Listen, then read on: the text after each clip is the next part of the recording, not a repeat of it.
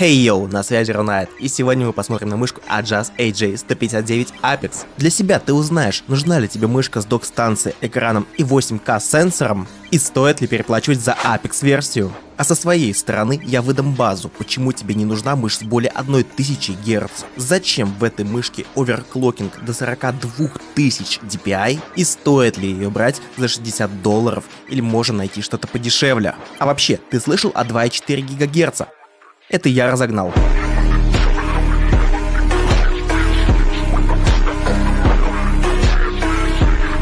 Ну а сперва дань традиции. Быстренько распакуем, а потом приступим к полноценному обзору. Первое – это грипсы по форме, чтобы ваши пальцы не скользили. Второе – это запасные тефлоновые глайды, или как называют их еще по-другому, ПТФЕ. Третье – это инструкция по этой мышке и как пользоваться док-станцией. Ну и четвертое – это Type-C кабель в тканевой оплетке, чтобы удобно было пользоваться, если ты не используешь док-станцию. Ну и в заключение, конечно, сама мышка с док-станцией. И начну я, пожалуй, сразу с того, что я ее вскрою. Сразу отнесу к минусам, чтобы ее открыть, тебе придется оторвать глайды, а затем тебе нужно будет ставить новые глайды, потому что эти уже неприемлемы к использованию. Конструкция самой мышки держится на четырех винтах. Если вы будете разбирать эту мышь, запомните, здесь небольшой шлейф, который можно случайно оторвать, будьте аккуратны. А внутри у нас самый последний сенсор Pixar PAF 309050, причем собственной разработки от Adjust Apex AJ, а отличается он от обычного 3950 лишь тем, что он разгоняется до 42 тысяч DPI. Микрики установлены хуяно зеленые с белой точкой.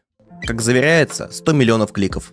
Но аккумулятор здесь на 400 мАч. Как говорил ранее, предыдущие глайды чисто в помойку, клею новый и продолжаем. А если ты испортил все глайды, ссылочка на глайды, где их можно купить, в описании. Поскольку это мой первый полноценный обзор на мышь, я протестировал ее в течение недели, но даже в таком случае я не могу знать все об этой мыши и расскажу лишь то, что я знаю лично. Размеры этой мышки буквально сейчас у вас на экране, а вот вес этой мышки составляет всего лишь 56 грамм. Конечно, это не самый минимальный вес, но после перехода с моей G305 весом в 100 грамм с аккумулятором, 56 грамм для меня оказались очень легкими. А что же еще легче? Так это подписаться на мой канал. Спасибо. Итак, колесико здесь достаточно хорошо прорезиненное. Энкодер здесь установлен F-Switch Brown. Но это какой-то no-name энкодер, потому что последнее упоминание этого энкодера было лишь в 2020 году. А также я забыл сказать, какие установлены микрики в боковых кнопках. Ну так вот, тут черные хуаны с белой точкой. Насчет сборки. Она хороша. Тут нет никаких проблем, когда ты ее сжимаешь или трясешь. Когда ты трясешь, вообще тишина. Но есть очень редкие похрустывания, когда ты пытаешься с силой ее сжать, но это бывает редко.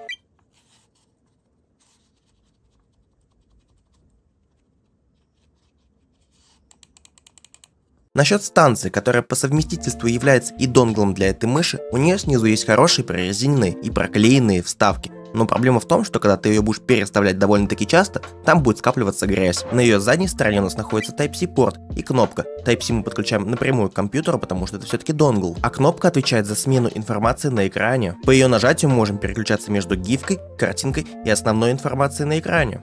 В свою очередь, кнопка, которая находится снизу док-станции, отвечает за подсветку самой док-станции. И вроде как подсветка является адресной, и у этой док-станции есть прямое подключение к программному обеспечению, так почему нельзя сделать подсветку настраиваемой? Тут вы можете выбрать только из того пресета, который имеется. Ну и главная фишка этой док-станции то, что можно магнитно поставить мышку на зарядку. Это довольно-таки удобно, и как по мне, это куда проще, чем подключать каждый раз кабель, чтобы зарядить свой девайс. Хват у меня пальцевый, и именно эта мышка довольно-таки удобная оказалась в моем опыте эксплуатации. По поводу скольжения этой мыши, глайды у нее немножко заторможенные. И это проявляется тем, что при микроконтроле немножко мышка прилипает к ковру. Но возможно это проблема ковра. Насчет grips, которые идут в комплекте, они сделаны из приятной резины, и ваши пальцы не будут скользить во время потной катки. И еще одна приятность. Когда вы их отклеите, на мышке не останется и следа от того, что они были установлены.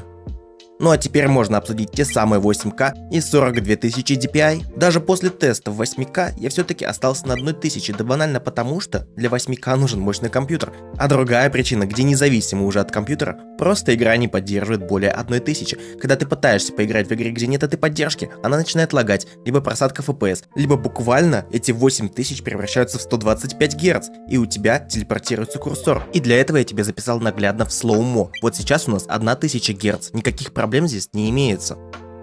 Ну а сейчас давайте перейдем на 8000 Гц. Ну и вот, только посмотрите, насколько все дергано.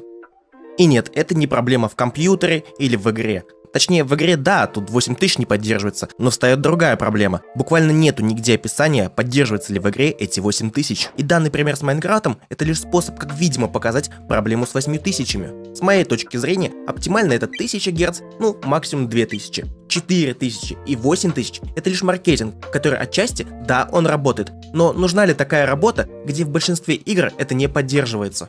Ну а теперь давайте обсудим те самые 42 тысячи DPI, которые предлагают нам Аджаз. Тут все верно. Да, у этой мыши 42 тысячи, но немножко непонятно то, зачем нам это надо. Да все очень просто. Нам это не надо. Не нужно выставлять 42 тысячи в настройках и думать, что так нужно играть. Этот DPI лишь как показатель чувствительности сенсора, то что при малейших движениях мышь это замечает. А значит, чем выше DPI, тем меньше мертвая зона при малейшем движении мышки.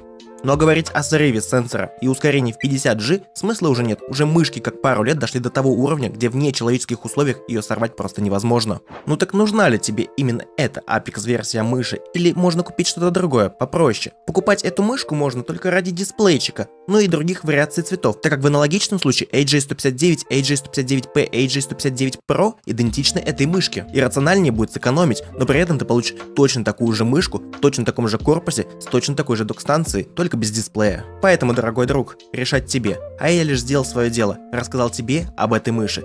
С вами был Рунет, всем спасибо за просмотр, увидимся скоро, bye-bye.